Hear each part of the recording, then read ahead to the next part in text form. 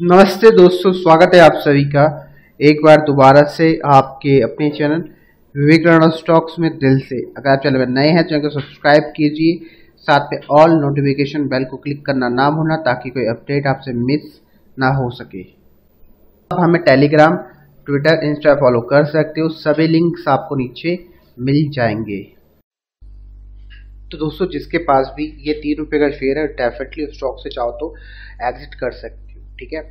एक अपडेट दे रहा हूँ, भूल कर भी स्टॉक को बाय मत करना। और लास्ट में कुछ स्टॉक्स के बारे में बात करूँगा। चाहो तो उन स्टॉक्स को आप अपने ऑब्जर्वेशन में रख सकते हो।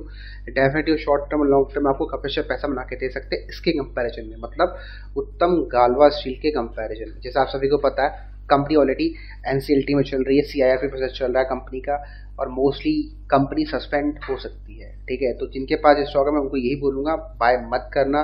बहुत लोगों ने उत्तम गालवा स्टील को बाय करा हुआ आई थिंक ठीक है, मैं लगातार आपको यही बोलता हूँ स्टॉक अच्छा नहीं है और अभी भी मौका है स्टॉक तीन रुपये प्राइस रेट कर रहा है, आप स्टॉक से एग्जिट कर सकते हो, ठीक है?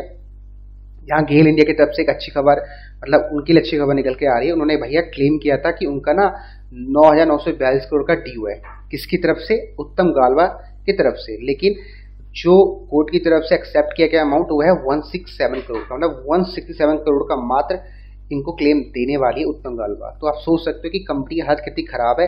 क्लेम तो उन्होंने इतना किया था केरल इंडिया ने, कि भैया हमारा इतना पैसा बकाया आपके ऊपर। और उत्तम गालवा ने मतलब कोर्ट ने एक्सेप्ट किया इतना, क्योंकि भैया इनकी है ही नहीं, ये दे ही नहीं सकते इतना पैसा जितना उन्होंने क्लेम किया है। तो आप चाहो तो ये पूरा रेट कर सकते हो, ठीक है? मैं आपको थोड़ा बहुत रेट कर देता हूँ, जैसे, ठीक है, इन दोनों के बीच में एक लीगल बैटल हुई है, ठीक है? बैंकर जो कंपनी है स्टील फार्म जिसका नाम उत्तम गालवा है, अब गेल ने इन पे क्लेम किया था। कितना ड्यू था इनका? नौ या नौ सौ बयालीस करोड़। अब जो एनसीएलटी बॉम्बे ब्रांच है, उन्होंने बोला कि भैया, सब कुछ सुनने के बाद हम एक्सेप्टेड करते हैं आपके वन सिक्स सेवन करोड़ का इंटायर ड्यू तो भैया, देख सकते हो कि भैया, कितना करोड़ का ड्यू था और कितने करोड़ इनको मिल रहे हैं। तो अब उत्तम गाला जैसे स्टॉक्स को आप प्लीज़ अपने नज़रों से हटाइए। मैं आपको ये बात बोलना चाहता हूँ, यहाँ पर आपको सीखना पड़ेगा। अब लगातार आपको अब स्टॉक के बारे में नॉलेज देखनी पड़ेगी अगर आप स्टॉक को बाय कर रहे हो, ठीक है?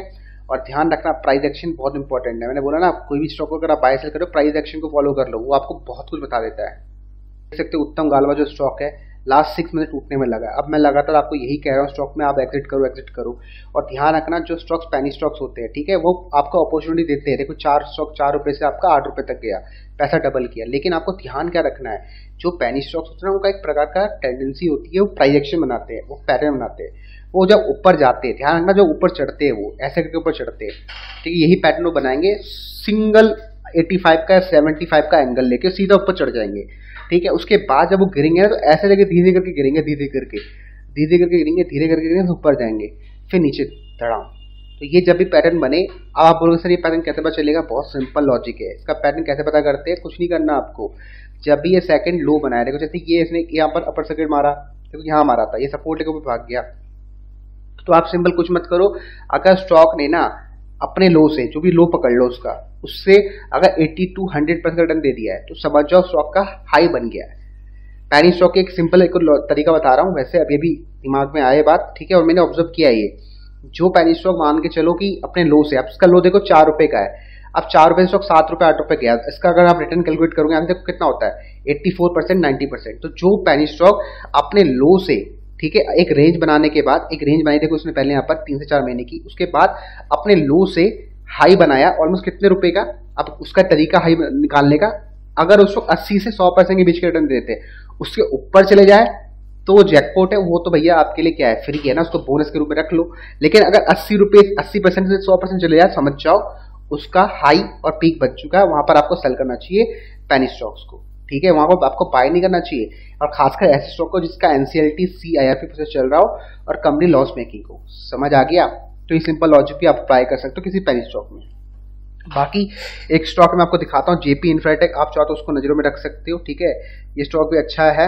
ये स्टॉक भी अपने हाई से को बहुत टूट चुका है। देखिए, इसको भी आप देखो, ये जो स्टॉक है, दो रुपए का इसका लो था, इसने देखो हाई कितना लगाया। ऑलमोस्ट एक सौ बत्तीस परसेंट का रिटर्न देखे गया। मतलब अपने लॉस लो से हाई एक सौ बत्तीस परसेंट का लगाया। मतलब जब भी स्टॉक आपको लगे कि लो से हाई हो चुका है हंड्रेड परसेंट रिटर्न दे चुका है तो वहाँ स्टॉक को आपको बाय नहीं करना, वहाँ पर आप जितना हो सके स्टॉक को सेल करो। ये सिंपल स्ट्रेटेजी मैंने आज आपको बता दी, नहीं। तो इसको आप फॉलो कर सकते हो, ठीक है?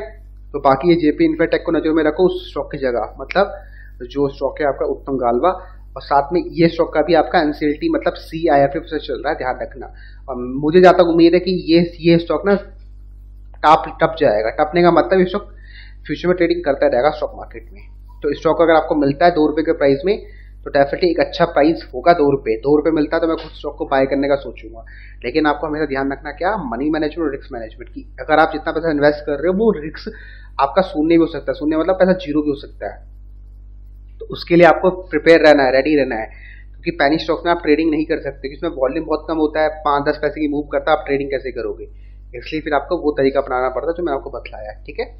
तो वीडियो को समाप्त करता हूँ। उत्तम गाला में यही लेटेस्ट न्यूज़ थी जिसमें आपको अपना पैसा निकाल लेना चाहिए। बाकी ये स्टॉक को आप अपने ऑब्जर्वेशन में रख सकते हो जेपी इन्फ्राटेक और साथ में ऐसे बहुत सारे स्टॉक्स हैं जिनसे आप कॉमेंट कर देना, मैं उसकी वीडियो बना दूँगा। चलो, मिलते